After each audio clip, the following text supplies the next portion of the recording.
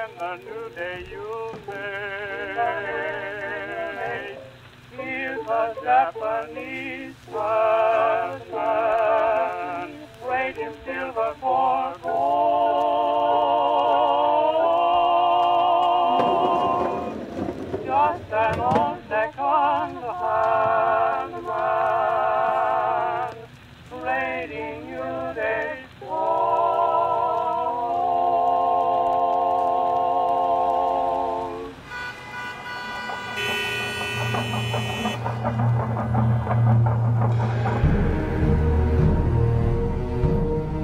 After a decade of post World War I prosperity, the New York Stock Exchange suffers the most catastrophic crash it will ever see,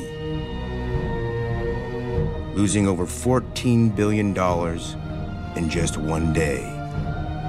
The crash launches a heartbreaking era for America the Great Depression.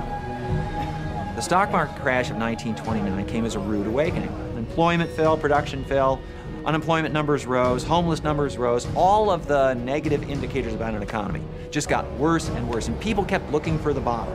But the bottom never came. And they began to wonder is this economy ever going to right itself? The fallout from the Great Depression quickly spreads throughout the world, toppling the economies of Europe, including Great Britain, France, and Italy. But one of the countries taking the biggest hit is Germany.